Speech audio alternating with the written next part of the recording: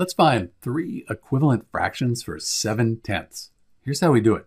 We're looking for another fraction that's equivalent to, it's equal to 7 divided by 10, just that it has a different numerator and denominator. So what we could do, we could multiply the numerator here and the denominator by 2.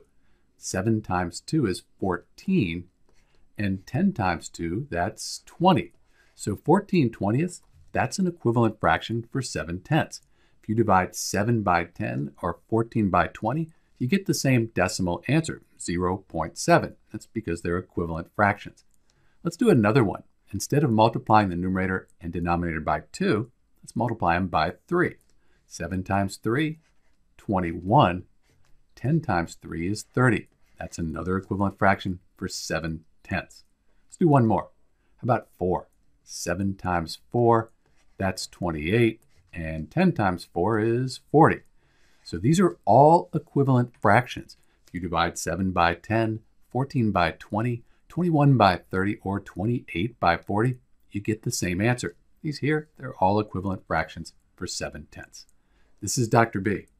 Thanks for watching.